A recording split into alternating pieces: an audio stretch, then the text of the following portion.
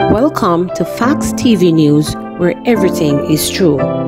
Bombshell Police investigating the disappearance of Phillip Paulwell's daughter and her mother have taken one of his close female associates and two men into custody, reporters learned late Thursday night. The suspects were arrested at separate St. Andrew properties on Thursday and, according to police sources, will be charged with murder and kidnapping. The name of the suspect is being withheld until she is charged. Police sources have said that Paulwell, the Member of Parliament for Kingston Eastern and Port Royal, is not a suspect in the matter. On September 9, Paulwell had confirmed reports reaching reporters that his 10-month-old daughter and her mother were missing since September 8. Paulwell said the two were seemingly abducted from their home at Gilmore Drive, Kingston 20 on the morning of September 9 and have not been heard from since. This is scary and comes at a time when I have been threatened by scammers who have hacked my phone and banking data and are demanding money to release them, Paulwell said at the time. I made it clear that I will not give in to extortionists, but this is a serious and dangerous development. The matter has been reported to the police and I have given a full statement. I have also increased my security measures, he said. I am worried sick over their safety and hope the police, who have launched a high-level investigation, will find the abductors and get them both home safely and sound, added Paulwell. Two firearms seized in Flower Hill, St. James. The St. James police have seized two firearms and 33 assorted rounds of ammunition during an operation in Flower Hill, St. James on Thursday. Reports are that about midday, lawmen were in the area when an open lot was searched. During the search, an M16 rifle with one magazine containing 25 5.56 rounds an estimate and was a 9mm pistol with a magazine containing 39mm rounds of ammunition were found under a mattress. No one was arrested in connection with the seizure. Classes going well at Ocho Rios Primary following health scare. Principal of the Ocho Rios Primary School in St. Ann, Suzette Barnes Wilson, says classes have been going well since the health scare at the institution on Monday. 65 students were rushed to the St. Ann's Bay Hospital for consuming drug-infused sweets. All the students who were taken to the hospital have been released up to Thursday. Speaking to reporters on Thursday, Mrs. Barnaby said there have been cooperation from the school's bus drivers and parents. She said they have increased sensitizations at the school about what students should and should not purchase. She said following on her promise to have students brought onto the school compound, the bus drivers have been cooperating. The parents have been responding well, positively to it.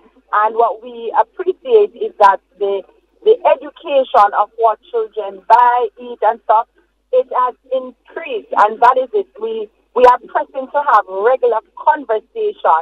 So we're pressing parents to have a regular conversation. Us at school, we are having that conversation. We would have had that conversation because our part of our core value, we have the S, which speaks to safety, and then we have the, the, the trust, the R, would speak the truth. And so we would have been um, ensuring that we, we bolster that and to push our children into talking about this on a regular basis. So we're increasing the conversation time that would have had and to make sure we, we integrate that as best as possible. Our bus drivers, our taximen, and um, all parties, all agencies, they are working with us. They are working together pretty well. We have been doing so. Yesterday was smooth sailing. Today is the same. And we give God thanks for that. Witness says Beachy Stout pressured him to kill wife. Delvon Minto, the second witness in the murder trial of Everton Beachy Stout McDonald and his co-accused Oscar Barnes, testified on Thursday in the Home Circuit Court in downtown Kingston that the businessman pressured him to murder his wife Tonya McDonald. McDonald and Barnes are being tried for the July 2020 murder of Tonian, who charred remains was found on the Sherwood Forest main road in Portland with multiple stab wounds and her throat slashed.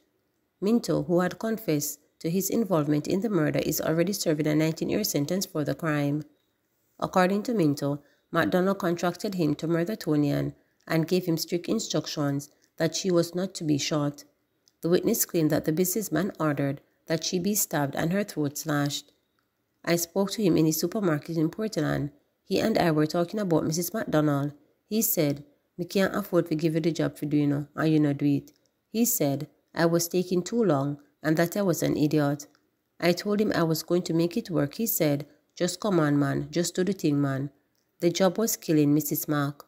He said if I can't manage, he would make one of his boys from town do it. I told him that I would do it and that he should not give away the work, Minto testified. Minto, a fisherman who also did small-scale farming in the yard before his conviction, told the seven-member jury and presiding judge Chester Stamp that he first became aware of Beachy Stout one day in 2020 when he heard someone shout the name at the fishing beach in White River, Portland. The witness said Mr. McDonald was in a black BMW motor vehicle at the time. He said he next saw Mr. McDonald when he visited the businessman's supermarket in Port Antonio to seek a job. This Saturday, when I went, I saw Beachy Stout again. It was at his supermarket. I told him I needed some work. I told him that when the goods truck come in, I could hand down rice, sugar, flour, and so forth. He said to me, may have better work for you. That's when he went into his pocket and went on his phone. He showed me a lady on the phone who I never saw before. He then said to me that he wanted her dead and I told him I couldn't do it because I never did anything like that before, the witness said, explaining that the woman on the phone was Tonian. However, Mr. Mack insisted that he could do it and offered him three million for the job. He said, you can do it, just make your price. I told him I couldn't do it because I didn't do anything like that before. He said to me, I will give you three million to do it. I told him all right then, and I left the office Minto told the court. He said after the initial encounter, he continued to link up with Mr. Mack in person and on the phone.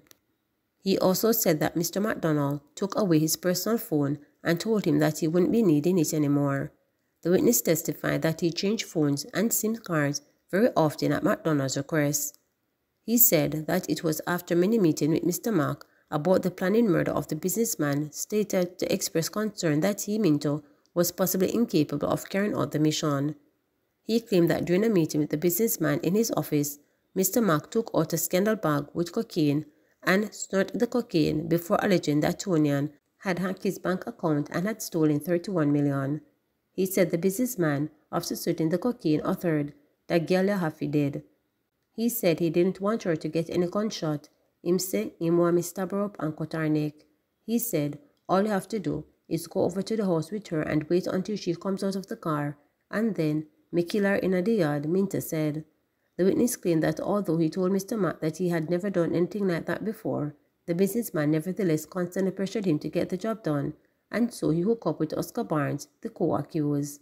The witness said he met Barnes at a fishing beach in 2020. I spoke to him for around six or seven minutes Minto told the court, adding that he had other conversations and meetings with Barnes. The last time I saw him was the night of Mrs. McDonald's murder. He and I went to the location where the murder took place, he claimed. The witness told the court that Barnes was well aware that the purpose of the link-up between both of them was to plan Tonian's murder. The trial is scheduled to resume on Monday. Please remember to subscribe, like, share, and click the notification bell